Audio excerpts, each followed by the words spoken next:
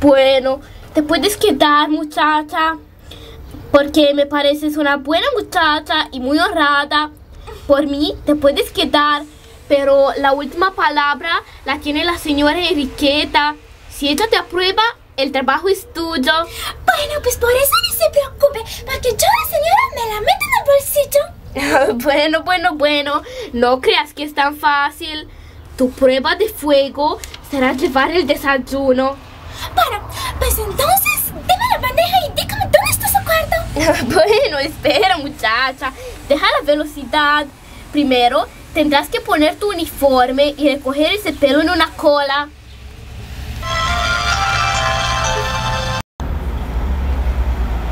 ¡Buenos días! ¿Y quién eres tú?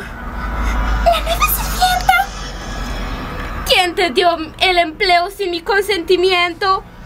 ¿Por qué estás trabajando aquí sin que yo te haya dado el visto bueno?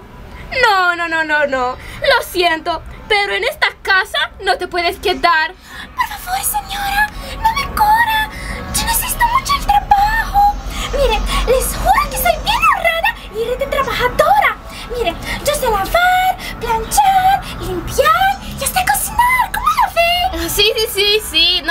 no hay por qué dudarlo.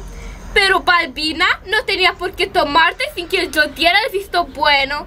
Eres demasiado joven. Yo ya tengo una sirvienta así. Y la verdad es que Graciela no me sirve para nada. Quiero a alguien de más edad, que sea acostumbrado a trabajar incansablemente.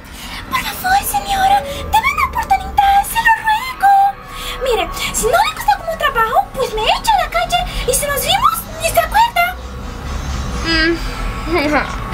Ay, qué manera de hablar tan corriente.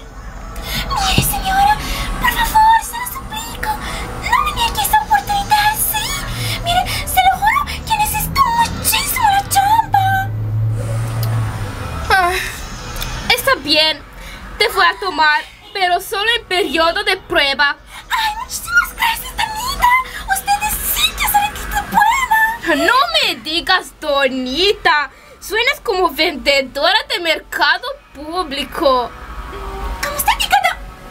Perdóname, señora. Mire, y ahora a desayunar. A ver. ¿Se puede saber qué estás haciendo? Ay, pues espero que no se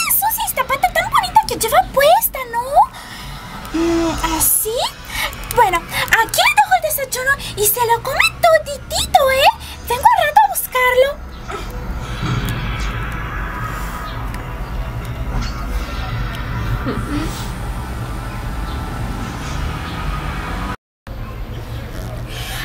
Ahora sí me cambió la tonita. Me la gané por completito. Bueno, Lucía, ahora en esta casa vas a tener trabajo seguro por mucho tiempo. Bueno, creo que a nadie le va a molestar si hago una llamadita de volada.